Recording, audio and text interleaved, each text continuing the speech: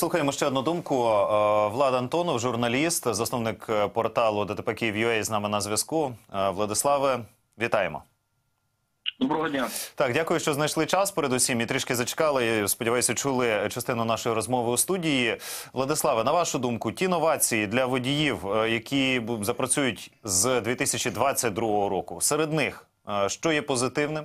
Я маю на увазі для водіїв, які дотримуються і правил дорожнього руху, і швидкісних режимів, і так далі. І так далі. Що для них принципово змінюватиметься, а що власне загрожуватиме порушникам, і наскільки жорсткими ці санкції можуть бути?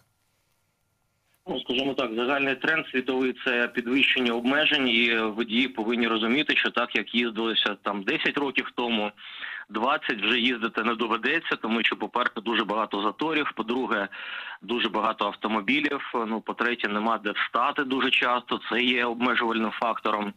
І не завжди можна проїхати там, де фізично проїжджає автомобіль. Тобто зараз вже робиться розмітка, вона показує рядність. І, до речі, років ще 5 тому е, не всі водії е, дивилися на знаки рядності. Зараз все ж таки, якщо з лівого ряду наліво, то 99% так і їдуть з лівого ряду наліво. Ну, звичайно, бувають якісь виключення. Тобто для нормальних порядних водіїв, котрі їдуть адекватно, принципово нічого не змінюється. Але треба розуміти, що навіть там е, через те, що запускають дуже багато велосмужок. Паркуватися реально інколи нема де. Навіть я, наприклад, живу в центрі міста, я згоден платити, але я дуже часто їду без автівки, тому що розумію, що я ніде не встану. Тобто там фізично ніде не притнешся, де, де можна було б припаркуватися раніше.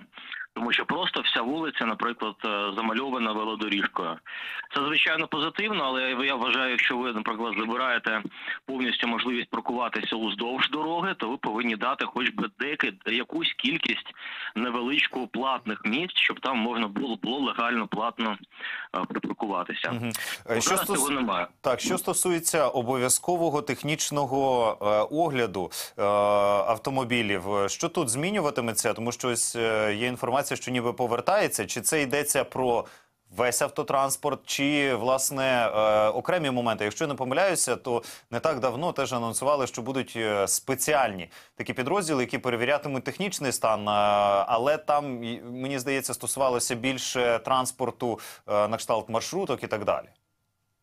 Дивіться, маршрутки і так перевіряють, і для комерційного транспорту техогляд не скасовували. Його скасовували для особистого легкового транспорту. І знову ж таки, адекватний водій або адекватний власник завжди сам контролює технічний стан. Я, наприклад, постійно кожні там 7-8 тисяч кілометрів заїжджаю на СТО, замінюю рідини, все перевіряють. Якщо щось не те, то я замінюю агрегат, там роблю ремонт.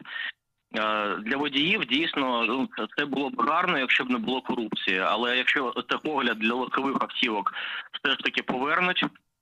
Повірте, корупції після революції гідності менше не стало, її стало набагато більше, і просто буде певна такса. Знову ж таки, можна буде на повністю там розбити або просто на кузов е, ну, зробити нормальний техогляд. Мгм. Тобто я не вважаю, що це ще щось змінить. Я вважаю, що це просто буде ще одна е, один одне корупційне джерело на надходження коштів до людей, котрі мають відношення до цього. Е, Що стосується камер, які фіксують, мають фіксувати проїзд на червоний, е, їзда зустрічною смугою та зупинки на смузі громадського транспорту. Ці камери, ну ось давайте так е, візьмемо досвід е, столиці. Ми бачимо, що е, камери, які фіксують перевищення швидкості, їх додається. І я ось, наприклад, теж помічав, що в тому чи іншому е, на тій чи іншій ділянці.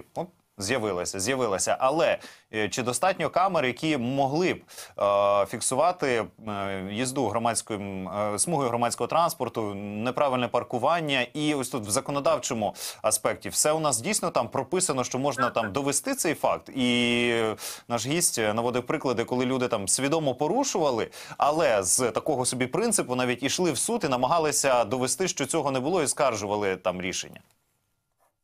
В чому саме питання? Що що Е, даруйте? В чому саме питання в, чому, ваше в, чому, в чому саме питання? Дивіться, кількість камер, яка зараз є.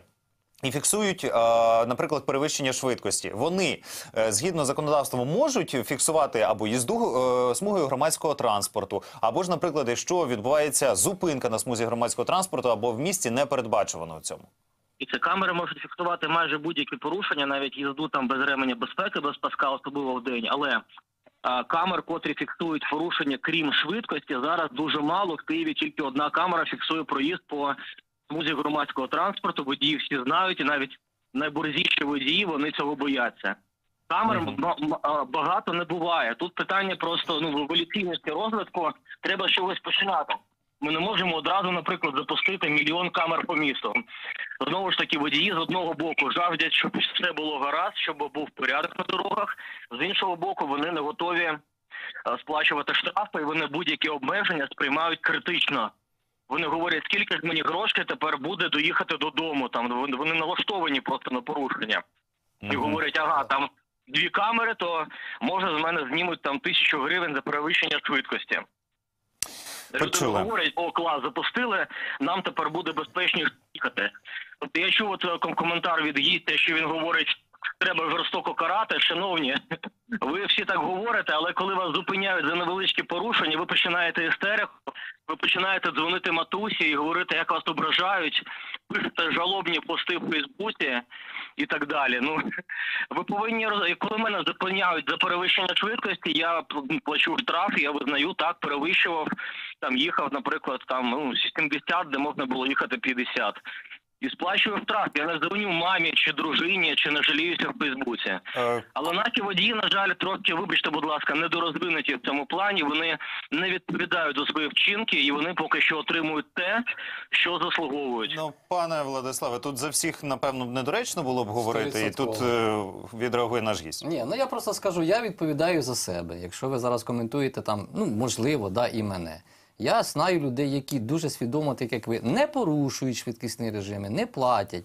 Я вам останню зупинку вам розкажу. Я їхав до Одеси. Мене зупинили перед Одесою поліціянти.